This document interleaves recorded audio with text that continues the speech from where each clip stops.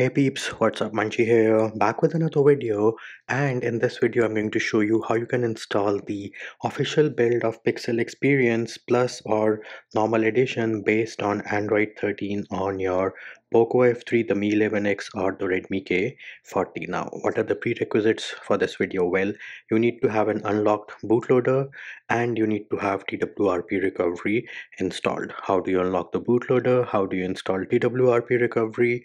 Videos for those can be found in the description of this video. Another thing you need to note is that we are going to perform a format data which means you are going to lose all your pictures videos and anything important which you have on your device. So make sure you do have a backup of all the important data which you have on your device and make sure your battery is charged at least 50 to 60 percent. Do not and i repeat do not do this process if your battery is at 20 or 30 Another important thing to note is that I will be installing this official build of Pixel Experience based on Android 13 on my Xiaomi Mi 11X or the Poco F3 from MIUI. However, if you're running a custom ROM which is based on AOSP, the steps will remain the same. You just have to skip the steps which are not applicable to you. So here it is. This is the Xiaomi Mi 11X. Right now I am running MIUI 13.0.7.0 based on Android 12. Now the firmware is baked into the ROM zip and of course the link to download the file can be found in the description of the video and we are going to use the normal edition for the purpose of this video but if you're using the plus edition of Pixel Experience Android 13, the steps will remain the same. Next thing I recommend you do is go into settings, password and security, remove your screen lock, fingerprint and face unlock. Once that is done, you can go back, go into Mi account and remove your Mi account. And once that is done, go back, go into accounts and sync and remove your Google account. Now, once you've removed all the accounts and security measures, make sure you reboot your device once. And before you ask me, hey Munchy, why are we removing all the accounts and security measures?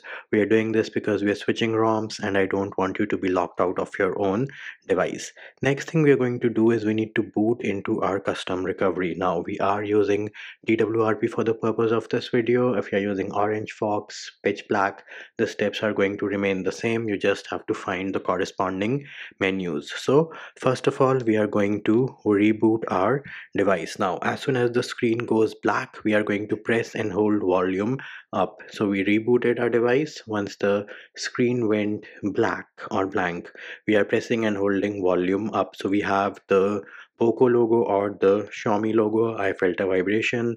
Pressing and holding volume up and pretty soon we should see the TWRP splash image and then we should boot into our custom recovery. So here it is TWRP splash image and then we are going to boot into TWRP. So here it is we have successfully booted into our custom recovery. Herein first of all go into wipe advanced wipe select Dalvik and then swipe to wipe. Once that is done tap on the home button. Then go into install. And herein you will be in your internal storage which is your SD card. Select the download folder because this is where all the files are downloaded if you download them on your phone directly. If you transferred the pixel experience official android 13 build from your computer then you would know the location. Select this file. On the next screen make sure that these options are checked. So disable auto reboot after update skip digest and automatically reflash TWRP after flashing a ROM. So this last option of automatically reflash TWRP or you might have inject TWRP after ROM install this needs to be checked because if this is not checked then it is going to replace with pixel experience recovery and i'm pretty sure you do not want that. Once you've made sure all these options are checked the next thing we're going to do is swipe to confirm flash. And there it is. You can see that the rom is being flashed to the inactive slot. In my case that is slot b. In your case it might be slot a and this process will take some time so you have to be patient now once the ROM has flashed successfully you might get these failed to mount errors but no need to panic everything has flashed successfully because after flashing the ROM we got step 2 by 2. So next up we are going to tap on the home button, go into reboot and here and select recovery. At this point our Xiaomi Mi 11X or the Poco F3 or the Redmi K40 is going to boot back into TWRP recovery. Why? Because we had checked the option of installing TWRP recovery after flashing a ROM zip. So here it is TeamWin splash image in the building and we are now into our recovery. Now you will go into wipe, format data, type in yes, tap on the check mark on the bottom right and as I mentioned at the beginning of the video, you are going to lose all your pictures, videos, anything important which you have on your device because we just performed the format data. Next up, all you need to do is say reboot system and pretty soon you should have the pixel experience boot animation on your Poco F3, the Mi 11X or the Redmi K40. So here it is. We are on the boot logo right now and there it is.